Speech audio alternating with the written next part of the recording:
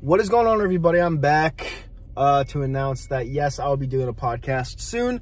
When is the starting date? I have no idea, but I will be doing one tw- two times or three times a week, uh, just to talk about life, sports, stuff like that, politics, whatever you want to talk about.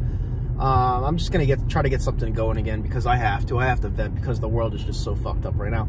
Um, with that said, I'm gonna talk about the game a little bit tonight. Um, it's a very winnable game. The Chiefs' offense doesn't look like they did like the last three, four, five years. You know, I think we're the better team. How we lost to the Jets, I have no idea. I still don't understand how we lost that game. But at the end of the day, the field is soaked from what I hear. I heard there's a monsoon going on, so it's gonna be one of those Super Bowl Super Bowl work shit again, like where they wet the field, but they don't actually wet the field. Mother Nature wets the field. So it's gonna be one of those things we have to deal with as a fan base. But at the end of the day, as long as we get the dub, that's all that matters to me. And listen, let's just say we lose this game. At least it's out of the conference. You know, these next two games are out of the conference. The Bills and the Chiefs. I'd like to win one at least. The Bills looked great yesterday without Ken Dorsey. So it's just one of those games. Eh, we're going to lose one of these games inevitably. We just are.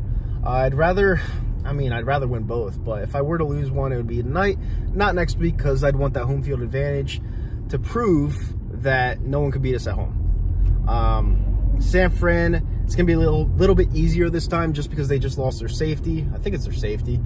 Um, but all in all, I think we're shaping up pretty well to get the number one seed. I'm not scared of Detroit, even if they get the number one seed.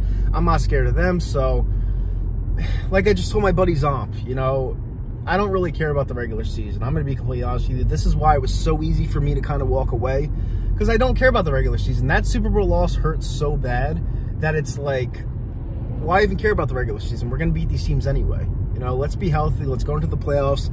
Let's win our second title. And that's that. That's all I care about at the end of the day. Um, do I feel like a spoiled Pats fan? Probably. This is what they felt like. I, I don't give two shits about the regular season. I really don't. Just be healthy, go to the playoffs, and that's that. You know, I don't want to have these weeks where we lose to a team like the Jets and get mad over nothing. The playoffs are all that matters.